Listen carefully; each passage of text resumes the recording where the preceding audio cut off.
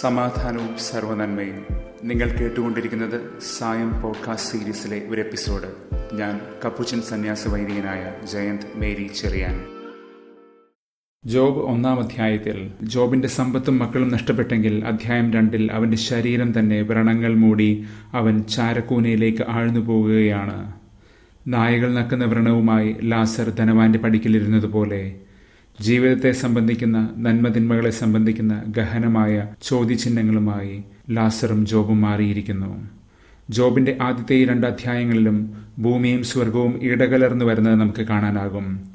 ഇന്നത്തെ വചനധ്യാനത്തിൽ നാം കാണുന്നത് ഭൂമിയെ ചൂഴ്ന്നിറങ്ങുന്ന അഗാധഗർത്തത്തെയും ആബിസിസ് സ്വർഗത്തെ പോലും കവച്ചു വയ്ക്കുന്ന മിന്നലാട്ടങ്ങളെയും തണ്ടർസ്റ്റോംസിനെയുമാണ്. സ്വർഗവും ഭൂമിയും സമരസപ്പെടുന്ന സുന്ദര വേദികയാണ് മനുഷ്യജീവിതം എന്ന സന്തുലിതമായ ബോധത്തിലേക്ക് ബാലൻസ്ഡ് വ്യൂവിലേക്ക് നാം തിരിച്ചു വരികയും ചെയ്യും. ജോബിന്റെ ആദ്യ രണ്ട് അധ്യായങ്ങളിലും എത്രയൊക്കെ നഷ്ടം സഹിച്ചിട്ടും ജോബ് അതരം തുറന്ന് ദൈവത്തെ പഴിച്ചില്ല എന്നൊരു കാര്യം പരാമർശിക്കപ്പെടുന്നുണ്ട്. എന്നാൽ ഇന്ന് മൂന്നാം അധ്യായം ആരംഭിക്കുന്നത് തന്നെ ജോബിന്റെ ഒരു ശാപവും പേറിക്കൊണ്ടാണ്. ദൈവത്തെ അല്ല ജോബ് ശപിക്കുന്നത്. താൻ പിറന്ന പുലർന്ന ദിനരാത്രങ്ങളെയാണെന്ന് മാത്രം. ഉത്തരം തരാത്ത വിധം കുഴഞ്ഞു പോകുന്ന തന്റെ മനുഷ്യജന്മത്തെ.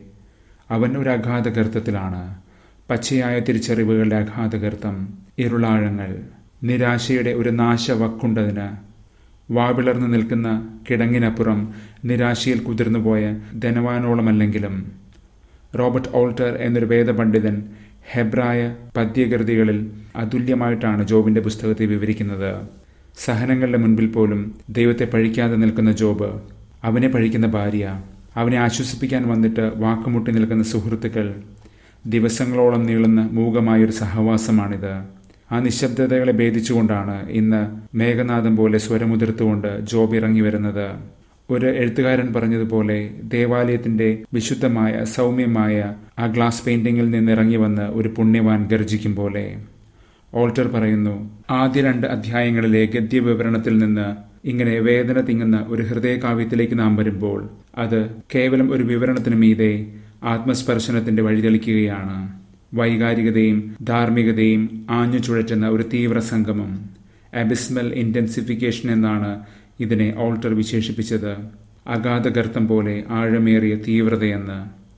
ജോബ് അക്ഷരാർത്ഥത്തിൽ ഒരു ഗർത്തത്തിലാണ് എന്ന് തിരിച്ചറിയുമ്പോൾ ജോബ് മൂന്ന് അഞ്ച് ഇതൊരു ഭംഗിവാക്കല്ല എന്ന് നമുക്ക് വെളിവാകുകയാണ്. അവന്റെ ജീവിതത്തിന്റെ പെരുങ്കാറ്റൻ ചുഴിയാണത്. അതുകൊണ്ട് തന്നെ അവസാനം ഇതിന് ഉത്തരം നൽകാൻ ദൈവത്തിന് ഒരു പെരുങ്കാറ്റായി വരേണ്ടി വരുന്നു. വേൾവെൻഡ് ജോബ് മൂന്ന് പതിനാറ് പറയുന്നു ഞാൻ ജനിച്ചപ്പോൾ തന്നെ മരിച്ചുപോയ ഒരു കുഞ്ഞിനെ പോലെ കുഴിച്ചു മൂടപ്പെട്ടെങ്കിൽ എന്ന് തമാൻ മൂടുക.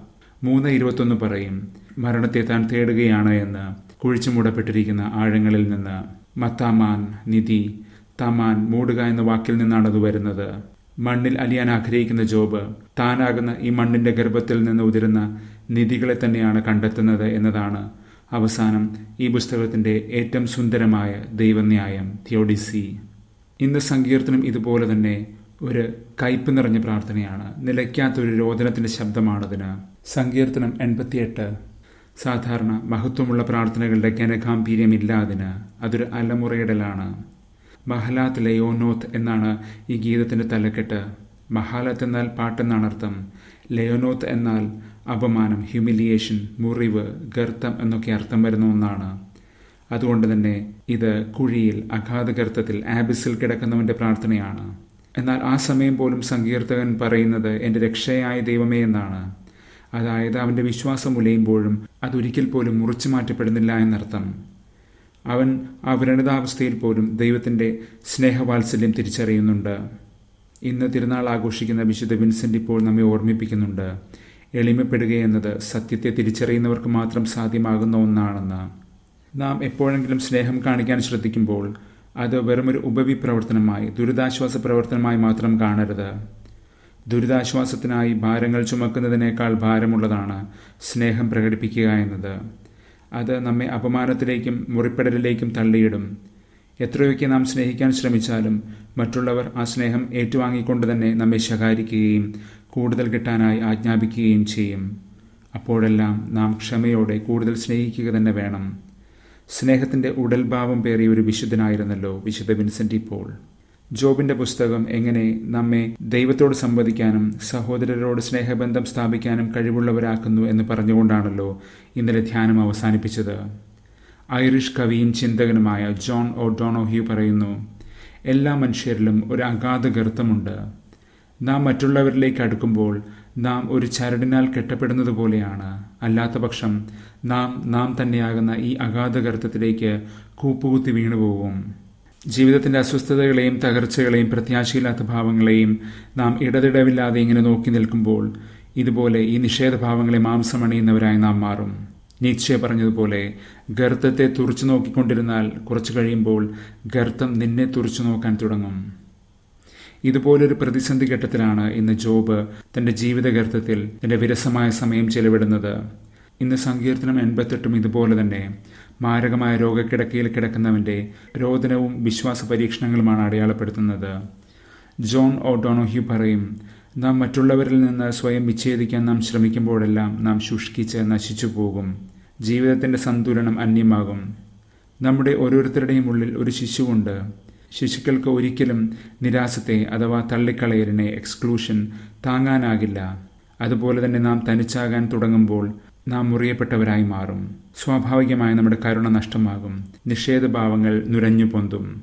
കഴിഞ്ഞ ദിവസങ്ങളിൽ ശ്ലീഹ തിമത്തിക്ക് പകർന്നു നൽകിയ ക്രിസ്തീയ ധീരതയുടെ പാഠങ്ങളുമായി ചേർത്ത് വായിച്ചാൽ ജോൺ ഓഡോണോഹ്യൂ പറയും മനുഷ്യന്റെ ചില പുരാതനമായ മൂല്യങ്ങളെല്ലാം അവൻ അവനൊറ്റയ്ക്കല്ല കൂട്ടായിട്ടാണ് ജീവിക്കുന്നത് എന്നൊരു അനുഭവത്തിൽ നിന്നാണ് ഉടലെടുക്കുന്നത്. സത്യം ഐക്യം നന്മ നീതി സൗന്ദര്യം സ്നേഹം അങ്ങനെയെല്ലാം. ഇത് മനസ്സിൽ വെച്ച് വേണം നാം ഇന്ന് സുവിശേഷത്തിലേക്ക് വരാൻ. ലൂക്ക ഒമ്പത് അമ്പത്തൊന്ന് മുതൽ അമ്പത്താറ് വരെ. അഗാധഗർത്തത്തിൽ നിന്ന് നാം മിന്നൽ പിണരുകൾ പായുന്ന സ്വർഗാദി സ്വർഗത്തിലേക്ക് എറിയപ്പെട്ടതുപോലെ തോന്നും പെട്ടെന്ന്. തങ്ങളെ സ്വീകരിക്കാത്ത സമരയാദേശത്തിന് നേരെ ആകാശത്തിൽ നിന്ന് ഇടുത്തിയിറക്കട്ടെ എന്ന് സബതിപുത്രന്മാരുടെ ചോദ്യം കേൾക്കുമ്പോൾ. നാഥൻ താൻ കയറിപ്പോകാനുള്ള സമയം സമാഗതമായപ്പോൾ ജെറുസലേമിന് നേരെ തന്റെ മുഖം തിരിച്ചുവെച്ചു എന്ന് പറഞ്ഞുകൊണ്ടാണ് ശ്രീഹ ഈ ഭാഗം ആരംഭിക്കുന്നത്. കയറിപ്പോകാൻ സമയമായി എന്ന് പറയുമ്പോൾ അത് നാഥന്റെ സ്വർഗാരോഹണത്തെയാണ് നാം മനസ്സിലാക്കേണ്ടത്. പക്ഷെ സഹനവും മരണവും ഉത്ഥാനവും സ്വർഗാരോഹണവും ചേർന്ന ഒരു ഒറ്റ പാക്കേജായിട്ട് മാത്രമേ നമുക്കിത് കരഗതമാകൂ ഒന്നും വേർപെടുത്തി ചിന്തിക്കാനാകില്ല. നാഥൻ തന്റെ സഹനപർവത്തിലേക്ക് നടന്നെടുക്കാൻ ഹൃദയം ഒരുക്കി കഴിഞ്ഞു. മുഖം ശിലാതുല്യമാക്കിയെന്ന് ഏഷ്യ പറഞ്ഞതുപോലെ. ഏഷ്യ അമ്പത് ഏഴ്. നാഥന്റെ യാത്ര തുടങ്ങിയത് തന്നെ സ്വദേശത്ത് വെച്ച് അവൻ ഏൽക്കേണ്ടി വരുന്ന നിരാശത്തിൽ നിന്നാണ്. ഇന്നിതാ ആ യാത്ര അവസാനിക്കുമ്പോൾ സമറിയായിൽ അവൻ നിരസിക്കപ്പെടുന്നു. യാക്കോബിനും യോഹന്നാനും പക്ഷേ ഈ നിരാസം താങ്ങാനാകുന്നില്ല. തങ്ങൾ സ്വീകരിക്കപ്പെട്ടാലും ഇല്ലെങ്കിലും സുവിശേഷം പ്രഘോഷിക്കുക എന്ന നാഥൻ അവർക്ക് നൽകിയ മുന്നറിയിപ്പ് അവർ കേട്ടിട്ടുകൂടിയില്ലാത്ത വിധമാണ് പെരുമാറുന്നത്. ലൂക്ക ഒമ്പത് ഒന്ന് മുതൽ ആറ് വരെ. സ്വീകാര്യത ഹോസ്പിറ്റാലിറ്റിയാണ് ഇവിടെ പ്രശ്നം.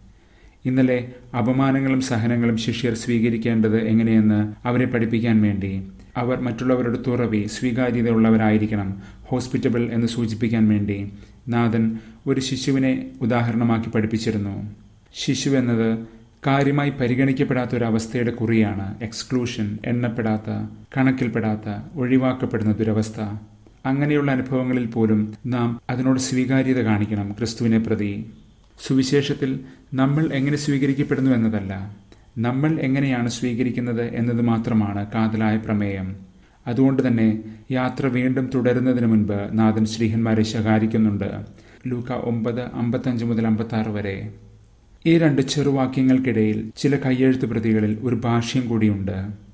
നാഥൻ അവരെ ശകാരിച്ചു. കാരണം എന്തരൂപിയാണ് അവരെ നയിക്കുന്നതെന്ന് അവർ മനസ്സിലാക്കിയില്ല.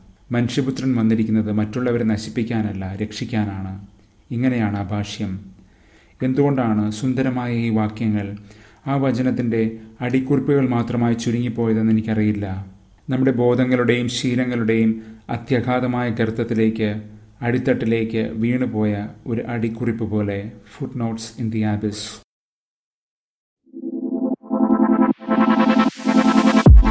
thank you Thank you.